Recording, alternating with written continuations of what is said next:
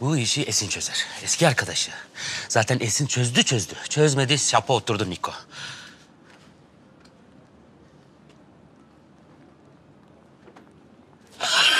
Esin, Esin, Esin, Esin, Esin, Esin, Esin, Esin, gel Esin. Ne oluyor Niko ya? Esin, Esin. İsmimi ezberlemeye çalışmadığını ikimiz de biliyoruz değil mi? Evet doğru. Bana söylemek istediğin bir şey olduğunu ve söyleyemediğin için kıvrandığını da biliyoruz. Bu da doğru. Bak ama bu iki doğru bir yanlışı götürürse o yanlış sen olursun Niko. Kesinlikle doğru. İster misin peki? O doğrular seni götürsün mü Niko? Götürsün Esin çünkü çok zor durumdayım. Yani o kadar zor durumdayım ki. Yani Bermuda şeytan üçgeninde kaybolmayı, içinde bulunduğum durumda kaybolmaya yeğlerim. O derece yani. Ah Temo hem de nasıl bir derece. Ne oldu? Yılbaşı çekilişinde gizemi çektim. Ee? Ne? Ona bir şey almam lazım. Ben ne alacağımı bilmiyorum. Bak yumurta dayandı ama ben hiçbir şey hesaplayamadım. Yani ne diyeyim ki ben sana şimdi? Böyle durumlarda hep biz senden akıl alırdık. Ah! Artık size ne kadar akıl verdiysem kafamın herhangi bir köşesinde bana akıl kalmamış. Tamam sakin ol buluruz bir şeyler. Bak şimdi Gizem öyle maddi şeyleri sevmez. Maddiyat yok. Yok. Ee, daha manevi bir hediye gibi düşün.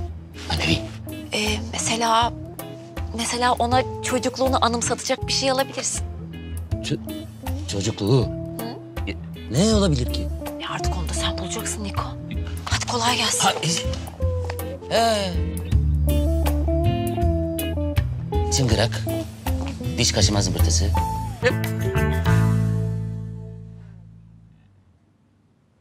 Ay Gizem, negatif enerjinle boğdun, bitirdin bizi ya. Hayır soruyoruz ne olduğunu da söylemiyorsun. Sorma sen yokken de bu negatif enerjisi beni çarptı. Evet ya ben gideyim biraz hava alayım hem sizi sıkmayayım böyle. Saçmalama bırak onları. Ne derdin olduğunu söylemeden seni bırakacağımı mı sandın? Otur hemen.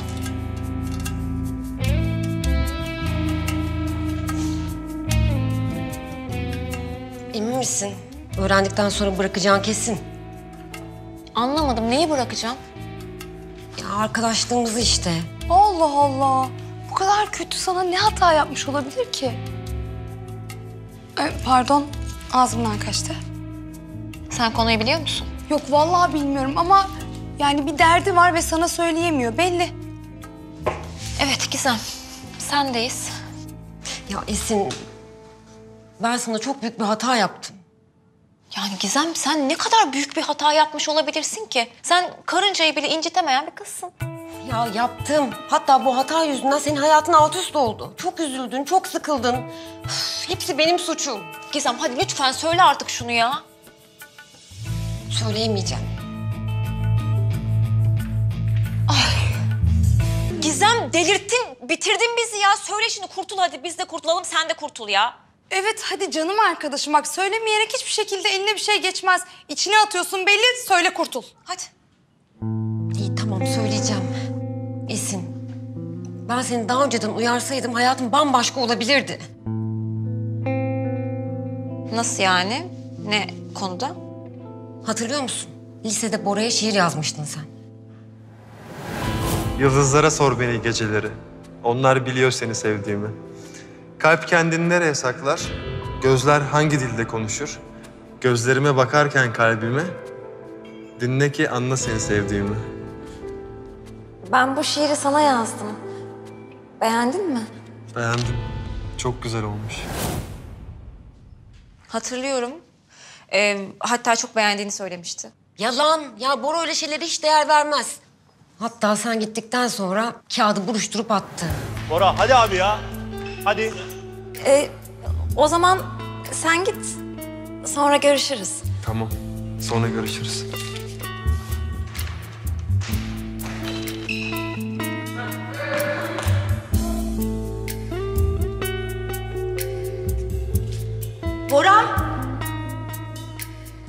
Bunu düşürdün. Ya boş ver önemli bir şey değil. Ne ki bu? Ya Esin şiir yazmış. Alsana o zaman. At gitsin kızım ya. Ben bunu gördüm Esin. Ama sana söylemedim. Sen benim en yakın arkadaşımdın. Eğer bunu sana söyleseydim sen Bora'nın gerçek yüzünü görecektin. Onu hayatına almayacaktın, üzülmeyecektin, sıkılmayacaktın bu kadar. Hatta o şiiri ben aldım. Ya eşyalarımın arasında bulmuş, kullandı. Bu ne ya? Öf be Gizem. Geçmişin bütün ıvır zıvırını getirmiş yolun ortasında koymuş. Geri zekalı ya.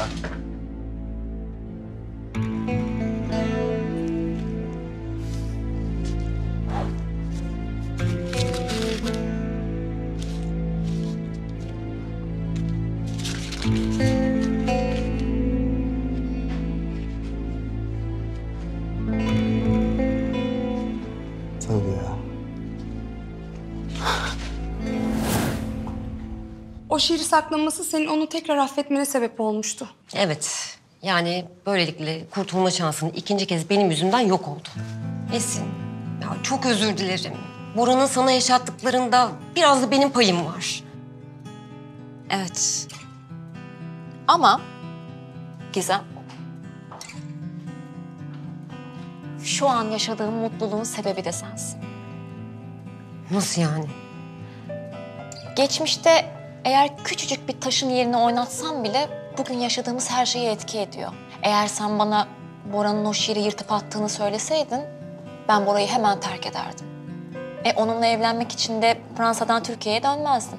Ama hayallerinin şehrinde yaşayacaktın işte. Öyle değil işte. Ben öyle sanıyordum. Benim hayallerimdeki yer burası, bu mahalle. Ben burayı o kadar çok seviyorum ki. Gizem, ayrıca Bora ile evlenmek için Türkiye'ye dönmeseydim... ...Şefkat'i hiç tanımayacaktım. Ona hiç aşık olmayacaktım. Bunu ister miydin? Hayır, hayır asla. Görüyorsun değil mi? Senin hata diye düşündüğün şey... ...benim hayatımın en mutlu şeyine sebep oldu. Ya ben hiç böyle düşünmemiştim. E düşünmeyiz zaten. Ama yaptığımız şeyler, seçimler bizi farklı farklı yerlere savurur. İşte buna da hayat deriz. Ya.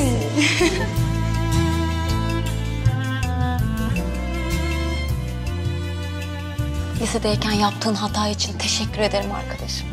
Ay gerçekten omuzumdan nasıl bir yük kalktı anlatamam size.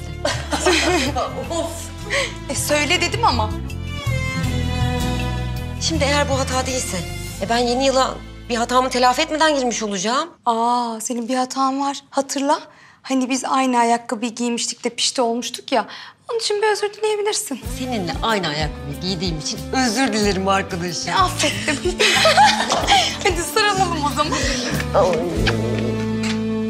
Daha fazla video izlemek için kanalımıza abone olabilir. İlk izleyen olmak isterseniz bildirimleri açabilirsiniz.